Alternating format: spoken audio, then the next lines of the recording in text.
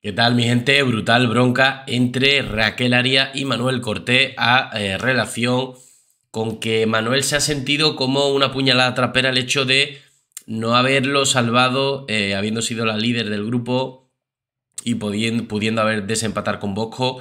Y bueno, como que él consideraba quizás de que él, él es más amigo de Raquel que de Bosco y que por qué se le había dado el punto a, a Bosco, ¿no? Bueno, vamos a ver exactamente qué ha sucedido.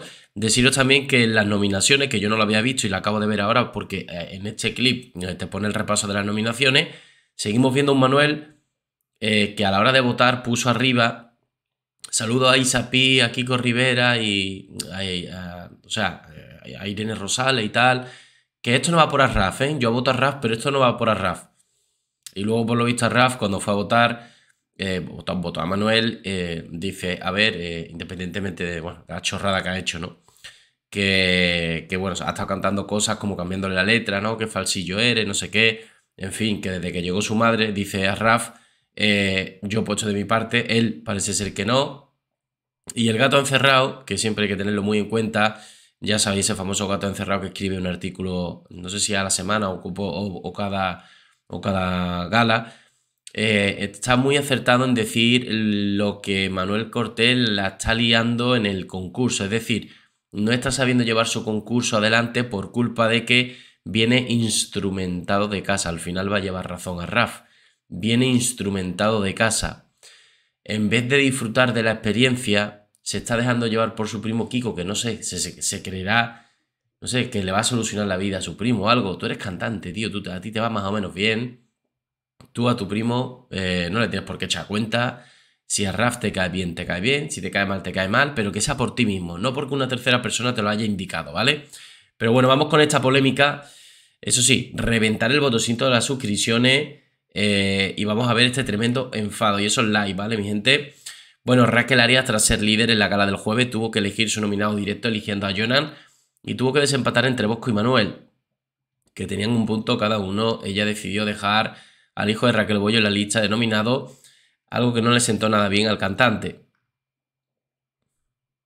Bueno, ante el visible enfado de Manuel Cortés, eh, con su decisión Raquel Arias intenta hablar con él en la playa, pero este le deja claro que le parece una traidora y ella asegura que si hubiera sido con otra persona ni se hubiera pensado salvarle, pero al ser Bosco, eh, una persona intocable para ella, tomó esta decisión. A ver, yo puedo entender que si mm, tiene más relación con Bosco o quiere más a, a Bosco o tiene más afecto y sentimiento por Bosco, pues Manuel a lo mejor se creía que él estaba, que estaba primero de su lista en el de Raquel, entre Bosco y él, él se creía que él era el primero y bueno, pues le ha sorprendido de que tiene más aprecio por Bosco.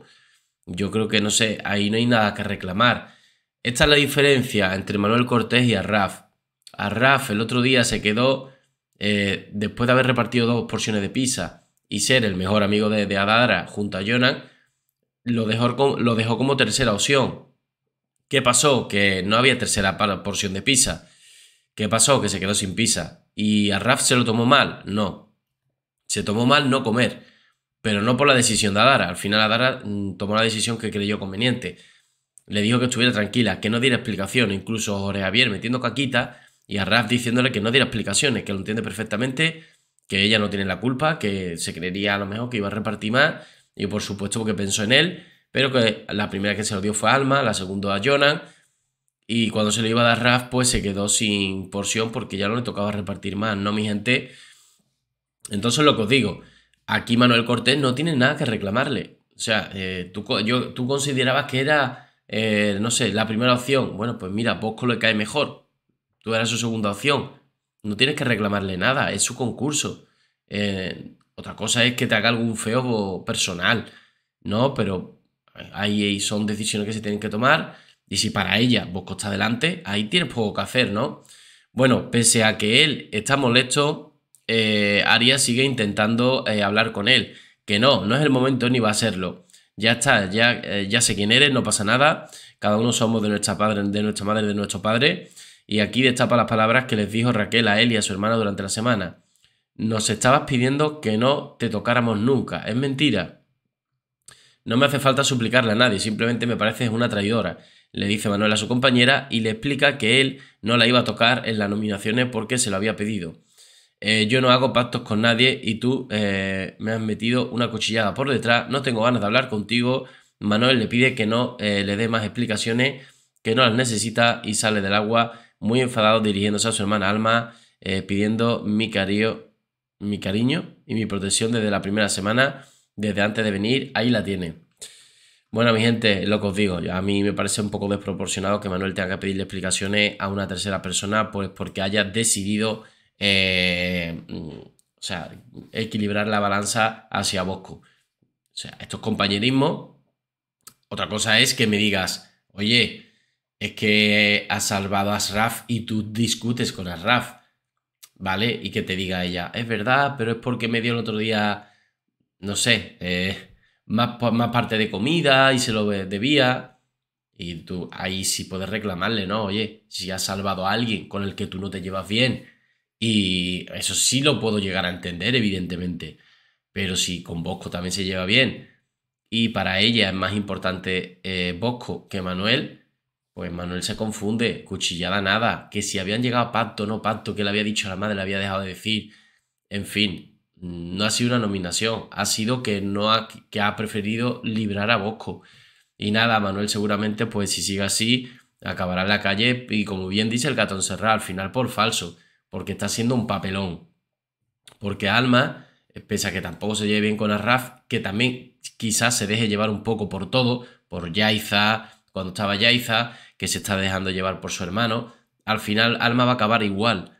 Pero es cierto que Alma más o menos, mira, le dio un abrazo, eh, siente... Pero es complicado, cuando tu hermano está empecinado con él, al final para Alma se va a cargar su concurso. Porque mira, si se carga el concurso Manuel, el suyo, pues bueno, te lo puedes cargar tú a ti mismo. Pero es que se va a cargar el de la hermana.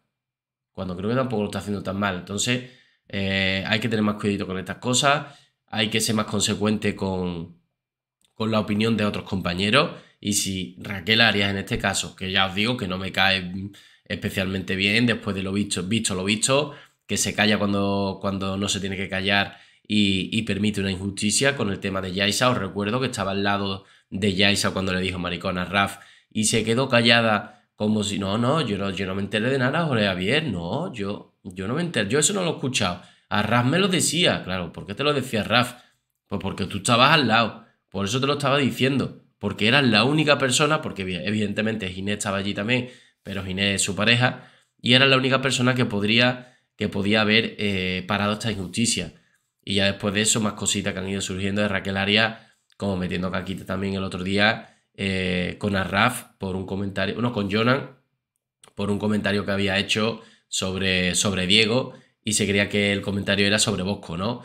Y a Dara le tuvo que parar los pies diciéndole, es que te estás confundiendo. Y otra persona tuvo que decir lo mismo, ¿no? No, no, es que no iba por él. En fin, siempre metiendo caquita. Entonces es una persona que sinceramente no conocíamos y bueno, ahora que la estamos conociendo, pues eh, de sesión total, ¿no? Es, eh, encima ha estado en el grupito de Yaiza, eh, en fin, se le ha juntado un poco todo. ella misma, ella misma es la que tiene que ver su concurso. Mi gente, nos vemos en el siguiente vídeo. Un saludo.